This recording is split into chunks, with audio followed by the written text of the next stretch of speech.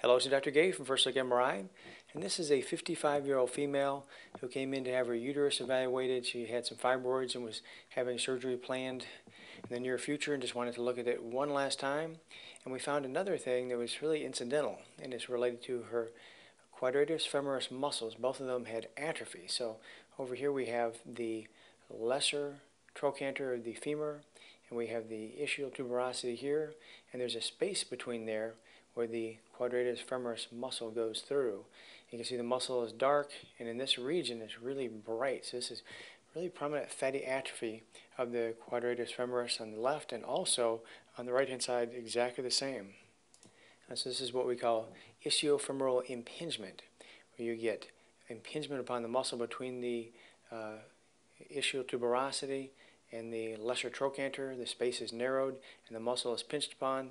Over time, the muscle will become edematous and then finally get fatty atrophy like this. This is more of an end stage appearance of this, but this is uh, a case of bilateral and relatively symmetric ischiofemoral impingement.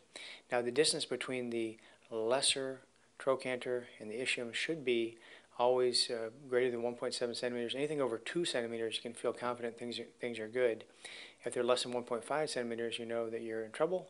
This patient had a little bit less than 1.5 centimeters on that side. And on the other side here, if I measure that, whoops, it's not as bad, but it is also borderline narrow. So a case of bilateral ischiofemoral impingement related to narrowing between the lesser trochanters and ischial tuberosities, pinching of the quadratus femoris muscle that comes through here and attaches over here on the posterior aspect of the femur and the lesser trochanter. And that's it.